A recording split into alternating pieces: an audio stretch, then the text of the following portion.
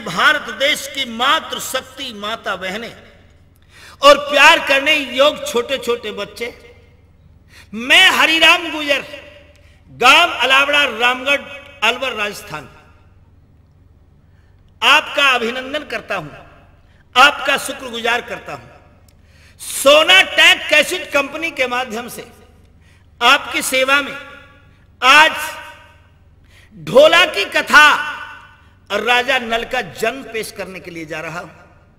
आपका आशीर्वाद चाहता हूँ और आपके दिल को पुरातन पुराणों की कथा के माध्यम से आपके दिल की ज्योति को जगाना चाहता हूँ। कि सत्यवादी राजा नल ने हिंस के बिड़े में कैसे जन्म लिया? हम पहले आपकी सेवा में रानी मंझा का वनवास भेज चुके हैं और उस वनवास की कथा को हमने वहाँ तक पहुँचाया है पहले दो बोलियों में कि जल्लाद रानी मंझा को नरवरगढ़ से लेकर के चल देते हैं। और जब राजा के दरबार के आगे से गुजारा तो देखो बड़े लोग कहते आए हैं क्या? कि नारी तो वही है नार नीचे कु नवाए के चले। आठों पहर पत की बजावे ताबेदारी को। नारी तो वही है नार नीचे कु नवाए के चले। आठों पहर पत की बजावे ताबेदारी को। धीरे बोले हौले चले काऊ की ना बुराई करे। अच्छा। आ जाए तो हिलमिल के काट दे लाचारी की। ठीक बात। निर्धन मलिन चाहे पति तनहीन होए। सुख दुख सह जाए खोटे देना गारी को। अरे कहे तो उस्ताज नथी गाँव पर मदरे वारो। भाई, जो पति की सेवा करती है, स्वर्ग मिलता है ऐसी। नारी जो पति के चरणों में सदा प्रेम रखा करती हैं, ऐसी औरतों के लिए स्वर्ग मिलता है। मेरे बंधुओं, आज वो रानी पतिव्रता रानी मंझा के लिए राजा प्रथम ने बंदोबस्त दे दिया। चार जल्लाद उस रानी मंझा को बेल जंजीरों से बाँध करके नरवरगढ़ से लेकर के चले। अच्छा। तो मेरे बंधुओं जब नरवरगढ़ शहर से बाहर रानी मंझाई हाँ। नरवरगढ़ के बाल वृद्ध औरतें बड़े बूढ़े हर नर नारी की आँखों से आँसू झलक रहे थे। जैसे के कई दुश्मन होकर के राम को वनवास दे दिया। हाँ। और जिस समय राम अयोध्या छोड़ करके चले ऐसा कौन था नंदलाल अयोध्या के अंदर जिसकी छाती के टुकड़े नहीं हो रहे थे?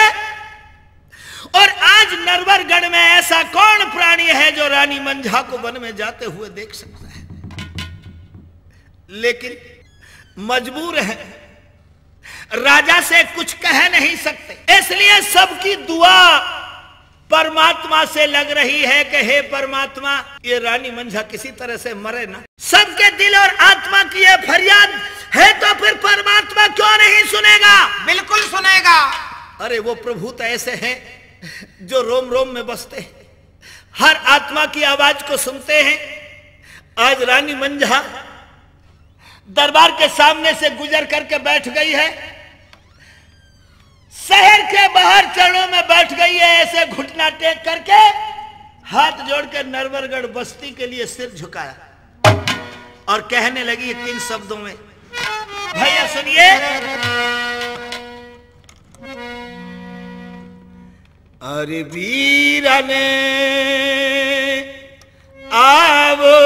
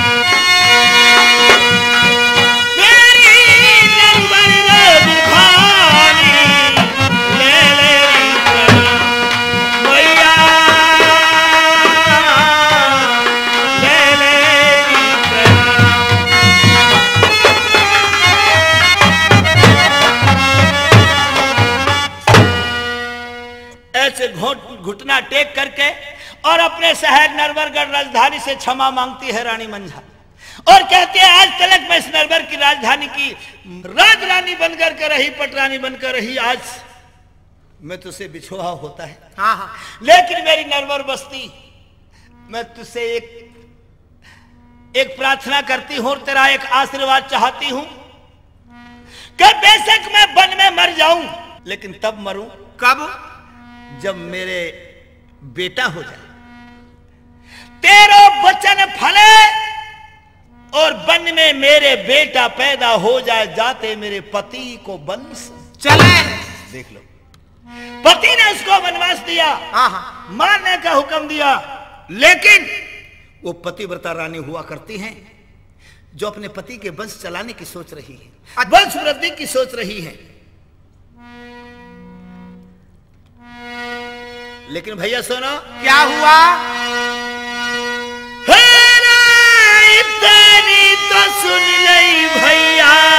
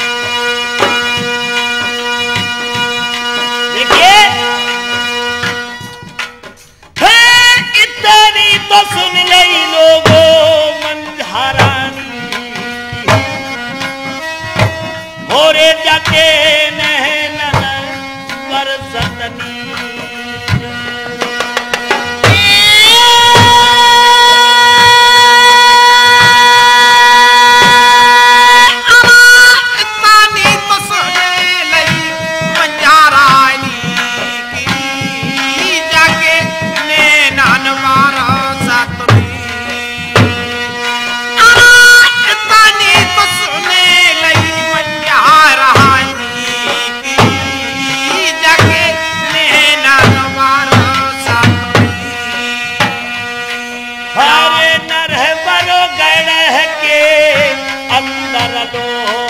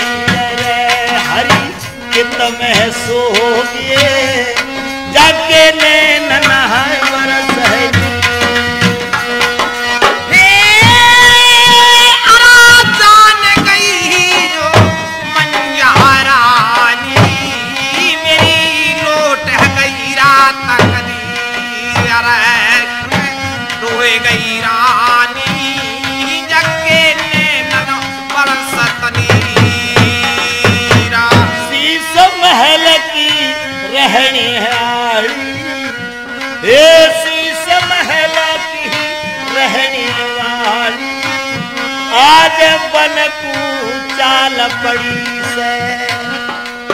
जाती देख नार मंजाने पर जा रो खड़ी खड़ी से। ए जाति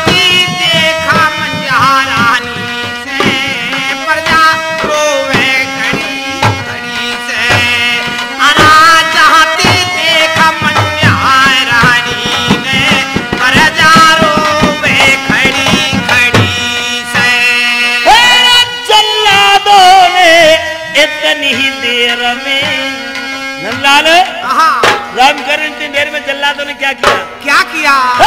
जल्लादों ने इतनी देर में जकी खेच लई जंजीर रे धन चाल पड़ी से।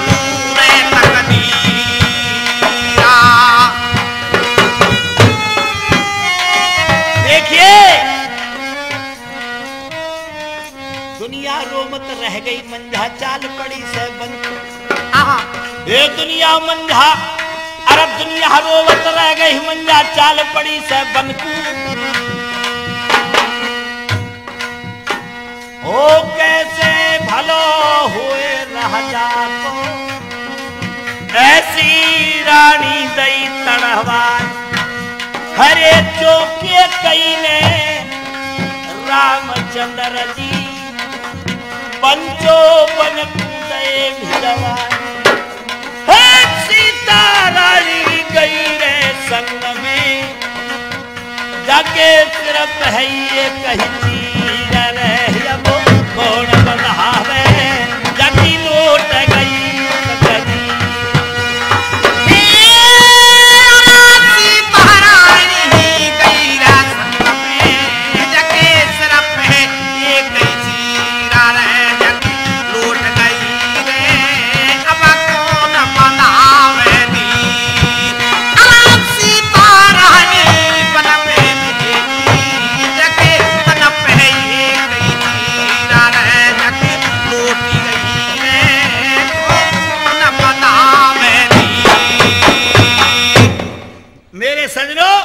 मेरे दोस्तों आज रानी मंझा को जब नरवरगढ़ से चली है लाखों नरनारियों की आँखों में आँसू थे।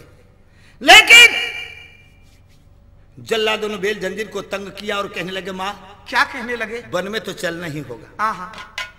सजनों लेकिन बात सुनने की है? क्या? जब जल्लाद रानी मंझा को लेकर के चले सारे नरवर के नरनारी खड़े रह गए नरवरगढ़ के बड़े दरवाजे पर मारने के लिए ले जा रहे हैं जल्लाद। आहा। लेकिन जाको राखे साइया मार सके ना कोई और बाल न बाको कर सके जो जग बैरी रानी मंजा को जैसे जल्लाद लेकर के चले हैं। क्या हुआ? सोन मने सोन। सोन कैसे मने? सगुन मने सगुन। कैसे? सगुन कैसे मने? सोनो। बताइयो।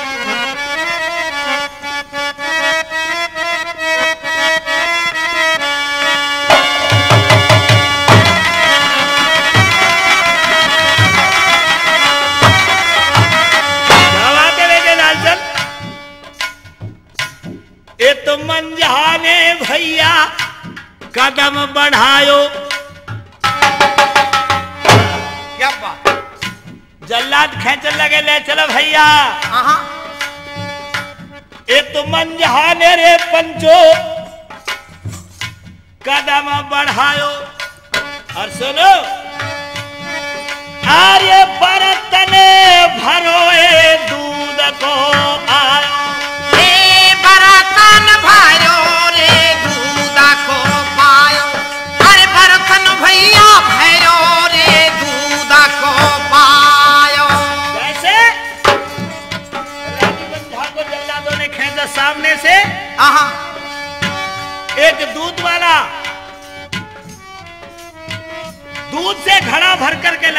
और दूध सामने से मिले तो सोन माना जाता है बिल्कुल। जाता और क्या? और सुनो रोमत तो जाए रही है। रोमत तो जाए रही है मंझा मैया। आगे बछड़ाए जाए रही है गैया। ए आगे बछाराए जाए रही है गैया। आगे बछाराए जाए रही गैया। आगे? गाय अपने बेटे को दूध पिला रही थी बछड़े को। रोमत जाए रही है मंझा नारी।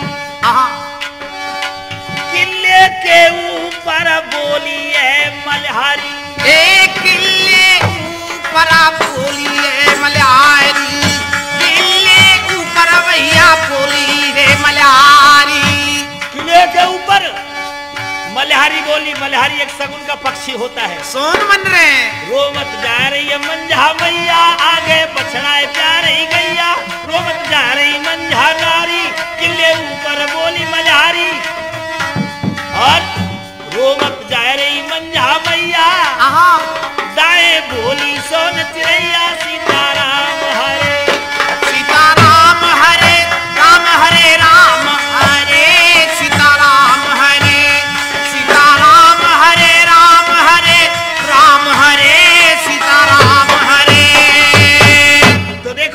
सगुन बन रहे आगे से बर्तन दूध का भरा हुआ मिला। सोन चिड़ैया दाएँ बोली। किले के ऊपर मल्हारी बोली। अच्छा। आगे से आई दो बैयर बानी। हाँ। जो भर के ला रही। पानी। पानी भर भरी जे घर। अच्छा। हाँ बड़ो अच्छा सोन मानो जाया को। हाँ, ई और सोन बनो बड़ो अच्छा और मुंड पे जिए घर पेट में। बच्चा। डबल सोन हो गया। अरे। ऊपर भी भरी। और नीचे भी भरी। उमर है फिर? नहीं जल्लाद करे मारने के लिए ले जा रहे हो? हाँ। इसके सगुन बन रहे नंबर पर ले चलो। एक जल्लाद बोला ले तो चलो भैया होगा सो देखा जाएगा। बिल्कुल। तो जा रहे लल्लू। कैसे जा रहे हैं? जा रहे रानी मंझा को लेकर। कैसे ले जा रहे कैसे जा रहे? ऐसे ले जा रहे। सुनिए। कैसे ले जा रहे? हैं? कैसे ले जा रहे बताइए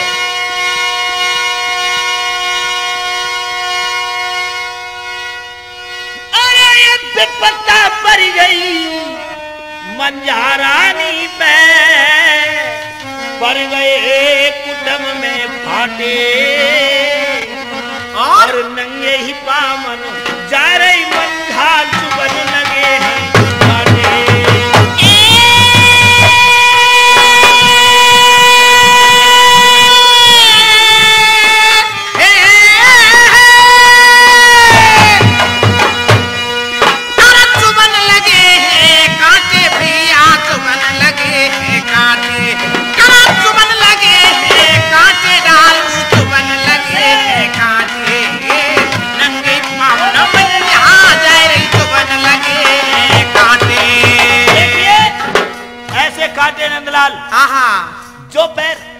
कभी पलंग से नीचे नहीं रखे गए जिनके पैरों के नीचे दास और दासियाँ अपना हाथ रखते थे आज वो पैर नंगी धरती पे जा रहे हैं नीचे से कांटे चुभ रहे हैं। गढ़ नर मर गो और क्या? छूट नार के छूटे लाल दुसाले। गढ़ नर मर गो छूट नार के छूटे लाल दुसाले। अरे, गोरे गोरे, पाव में पड़ गए गर्म। में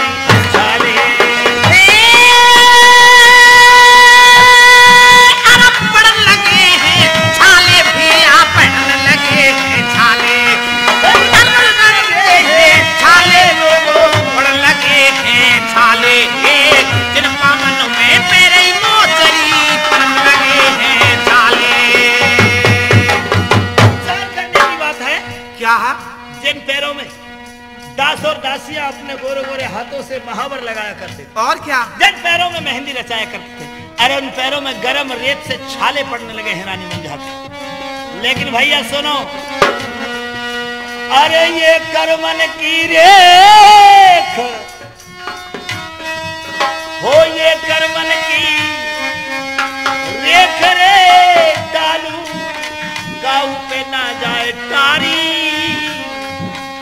राम को, वो बन रहा अनाड़ी।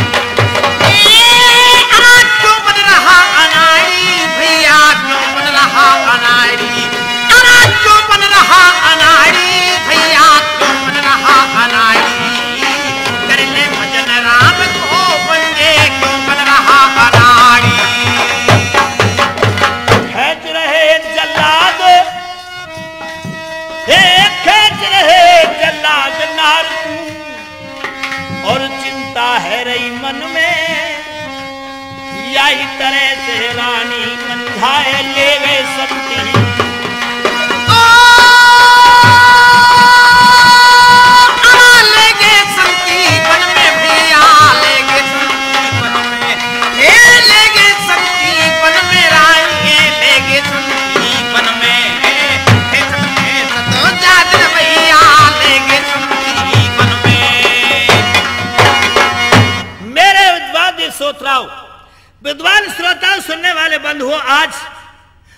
मंझा के गोरे गोरे पैरों में छाले पड़ गए। आह, क्या हुआ फिर? परे जोड़ते घाम पजर रहे पाम सुमर रही राम भयो जाए काम। अरे मेरो कित में दुबक गयो काल कैसो चामर देगो गुरु गोरख बाबा कैसो होएगो हीरा। लाल। अरे जाते अच्छी तो मैं बिना ही बेटा के थी। आह। लेकिन बंधुओं संति बन के दरमियान जल्लाद मंझा रानी को लेकर के पहुँच जाते। हैं अच्छा फिर क्या हुआ? बेड़ बन भयंकर झाड़ी थी। कैसा? बेहड़ भूम भयंकर झाड़ी। अच्छा जी। कंजा सेत बबूल बेरिया ढिंग ढिंग। ठाड़ी लगी भिड़ेमा हीस बेल बग नर की। न्यारी। जामे गूंजे सहा लम्हूर चिन्हारे बन के हाथी। और सुन सुन उनको रुधन फटे मानस की। छाती। जिनमें बड़े शेर विकराल बड़े बड़े हाथी बन मानस हैं। जिन जिनको देखता आ जाए जिनको देखने से ही काल सामने आ जाता है। ऐसा बेहड़ बन था जिस बन के अंदर रानी मंझा को ले गए थे। उस बन का नाम था संती बन। अच्छा। जल्लादों की आँखों में आँसू है कि जिस जिस राज रानी के हाथ का दिए हुए दान से हमने अपने परिवार का पालन किया। आज इसकी गर्दन पे हम तलवार चलाएँ ये हमारा धर्म नहीं है। लेकिन मेरे दोस्तों मजबूर हैं। मारना तो पड़ेगा। जैसे वन के अंदर ले जाकर के खड़ा कर दिया रानी को। एक जल्लाद बोला भाई राजा का हुक्म है क्या बोला? कि रानी की गर्दन काट करके इसके खून से इसकी साड़ी को रंग के ले जाना है और इस रानी के नेत्र निकाल के ले जाने हैं। तो ऐसे रानी की साड़ी को पकड़ लिया। ए, अच्छा। ऐसे रानी की साड़ी को पकड़ लिया जल्लाद ने। आ। पर रानी मंजा मरे कैसे? क्यों? उसमें चारों नूर मौजूद हैं। नूर कैसे? तू नहीं जानता है। नूर कैसे रहे भाई? तू ना जाने को क्यों नंदलाल पूछ रही जाने? हाँ। चार नूर होते जो हर औरत में नहीं होते बेटे। वो कैसे कैसे? एक नूर जरजेवर एक नूर कपड़ा। आ औरत के चार रूप होते हैं। एक नूर जर जेवर एक नूर कपड़ा और?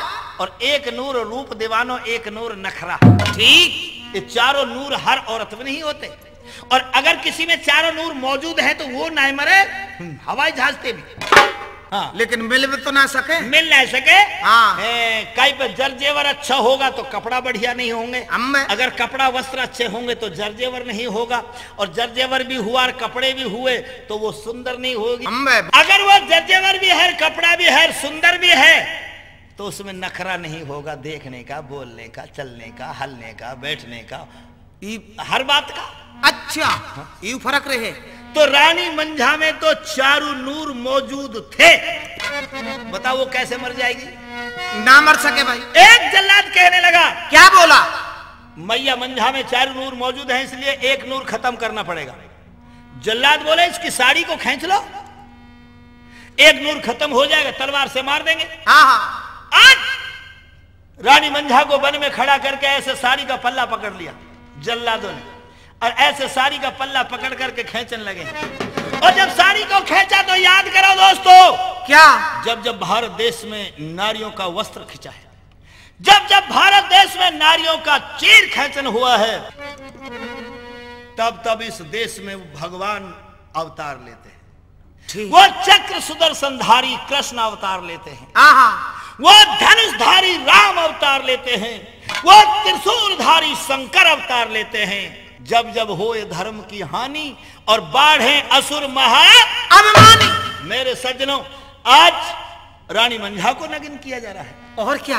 एक दिन वो था। कौन सा? जब द्रौपदी को नगिन किया जा रहा है। सभा के अंदर भीषम पितामह है। गुरु द्रोणाचार्य गुरु कृपाचार्य जैसे विद्वान लोग बैठे थे। और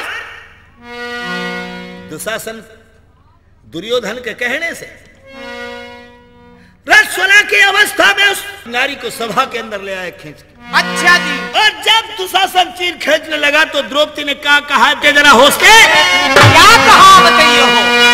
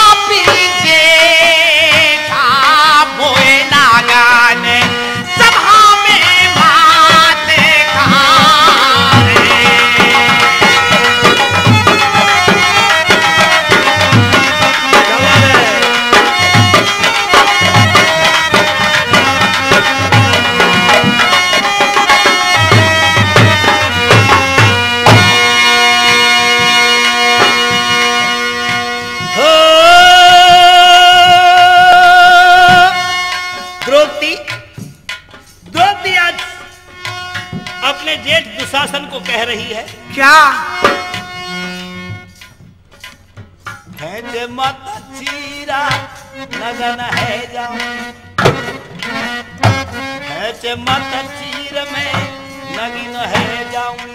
अरे मेरे जेठ मोए नगिन सभा में मायती का। और क्या है? आर्य बैठे। बाचा नन के बांधे। बैठे बाचा नन के बांधे। अर्जुन भीम जो गदाए, कंधा पे नाएदा ए बैठे बांधे। बैठे बाचान नाके बांधे। अर्जुन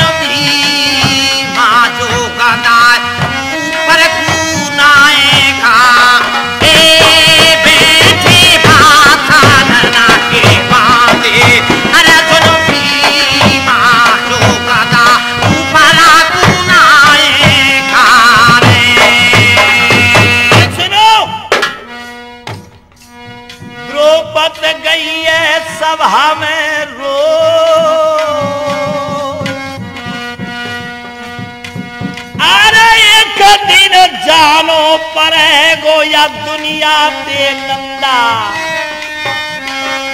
क्यों मेरो चीरा खिंचाई भैया?